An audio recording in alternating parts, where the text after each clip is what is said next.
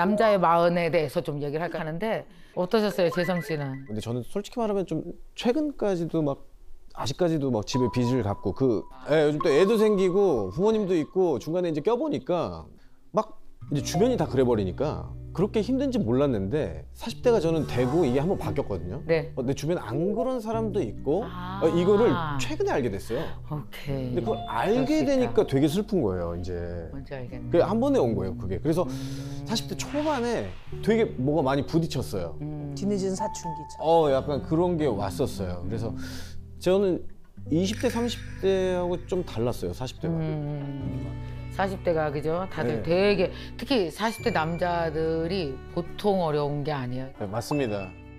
남자의 마음에 대해서 좀 얘기를 할까요? 남자들은 너무 불쌍한데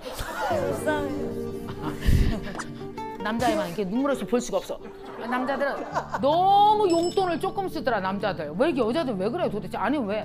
아니 애들한테 이렇게 펑펑 쓰면서 애들한테 펑펑 쓰면서 왜 남자한테 돈을 안 주냐고. 어른이 더 써야 되는 거 아니야? 왜 열살이더 써? 45살짜리 남자가. 어? 여러분 한번 생각해 보세요. 저는 결혼이 창업이라고 생각합니다. 대주주 두 명이 만난 거죠. 너랑 나랑 다 없는 거 애들끼리 만난 거야. 없는 애들끼리 둘이 만났어. 살다 보면 자꾸 직원이 들어오죠. 막 하나, 둘, 셋 막 들어오잖아. 어? 그럼 이 직원들 특징이 뭐야? 한 번 뽑으면 퇴사 불가능? 매년 연봉을 인상시켜 드려야 되고 막 나갈 때 퇴직금 들고 나가고 이것들이. 어? 그리고 그 직원들은 뚜렷하게 하는 일이 없어 요. 어 맞아요. 나가, 나가지 그럼 얘를 뭐라 그래? 계열사. 그죠? 우리는 본사. 자 여러분 생각해봐요. 우리가 하나의 회사라고 생각한다면 회사라고 생각한다면 잘 봐요. 어떤 회사가 직원 교육에 50% 예산을 써요. 망안에서 죽으려고. 부부가 같이 버는 돈이 그 집안 매출입니다. 맞아요? 그러면 적절한 데 투자해야 되죠. 그 집안은 백살을 살아야 돼요. 그럼 어때야 돼요? 자, 남편 40대에 필요한 공부 시켜서 중간에 다시 한번 자기 다 잡고 60대, 70대까지 멋지게 살 수 있도록 나중에 울지 않도록 투자해줘야 될 거 아니에요. 왜 투자 안 해요, 남편한테? 아니, 왜 계열사로 나갈 애들한테만 다 투자해요? 여러분, 진짜 많이 봤어요. 모든 돈을 갖다가 자녀한테 다 쏟아붓고 내 친구 중에 하나는 완전히 그래서 큰일 나네 있잖아요. 아우, 뭐 하려고 두 명이나 유학을 보내갖고 한 명당 1억이 된대요. 아, 여러분 다 들은 거 아시죠? 사립학교, 대학교 다 그렇게 들어요. 미국 대학 다. 그렇게 해서 여러분 애들한테 다 집까지 팔아갖고 공부시키는 사람이 있거든요. 많이. 많아요. 진짜 많아요. 뭐 하는 거예요, 여러분? 절대로 직원 교육에 전체 예산의 20% 이상을 쓰시면 안 됩니다.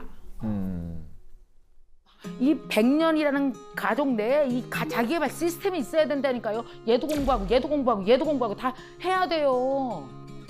서로가 서로에게 모범되고 서로가 서로에게 도움돼야 되는 거 아니에요? 누가 누구한테 얹어 살아요? 각자 자기 시간을 살아요. 우리 엄마는 88세인데 아픈데 자기의 시간을 견디면서 정말 열심히 삽니다. 책 읽고 좋은 얘기 해주려고 저한테 애쓰고 존경스러운 사람으로 살다 가려고. 저는 60 가까워서 나는 내 시간을 살아갑니다. 열심히. 서른넷은 또 여기서 살아가고 또 살아가고 이렇게 살아가는 거 아니에요? 그러려면 여러분 사람이 투자를 해야죠. 좀 잘 생각하셔야 돼요. 여러분 우리 3, 40대에 버는 돈은 엄청 귀한 돈입니다. 그걸 어떻게 쓸 것이냐. 뭐, 누가 머리를 맞대고 이거를 진짜 생각해야 된다. 40대 남자분들은요. 어차피 우리 전국민 자영업 한번 거쳐야 되는 건 아시나요?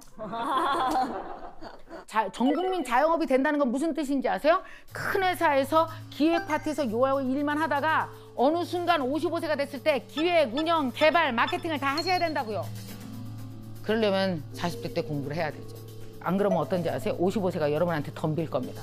많은 사람들이 퇴직 준비 안 했다가 시간이 덤벼요. 어이씨, 55세인데 나 어떡하지? 어, 60대인데 어떡하지? 그게 아니라 어떻게 해요? 시간이 나한테 덤비게 하지 말고 내가 시간한테 가서 똑똑 나 왔다 라고 얘기할 수 있어야 돼요. 시간이 덤비게 하지 말고 내가 그 시간까지 걸어갈 수 있게 할 거. 그래서 제가 말씀드리죠. 부부가 부모입니다. 40대도 서로 키워줘야 돼요. 50대도 뭐 부족하니? 뭐 하고 싶니? 물어봐야 돼요. 왜냐? 제가 살아보니까 50 넘어가니까 자꾸 둘 중에 한 사람이 고아가 되더라고요. 부모님이 다 돌아가세요.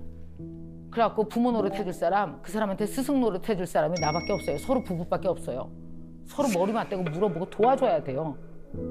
누가 그걸 하겠어요? 옆집이 응? 아는 형 맨날 술만 퍼먹이고 진심으로 해줘야 돼요 서로가 서로를 자 그래서 여러분 걱정하지 마시고 여러분한테 많은 세월이 있습니다 이 시간이 자산이에요